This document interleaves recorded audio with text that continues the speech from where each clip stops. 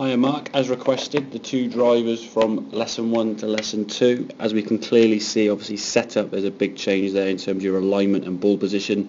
On the right now, much more conventional, parallel to the target and the ball inside your left heel, which will certainly help you eliminate that coming across over the top motion. On the swing on the left from before, we can see taking the club back, there was then that big over the top, big sway and slide onto the left side.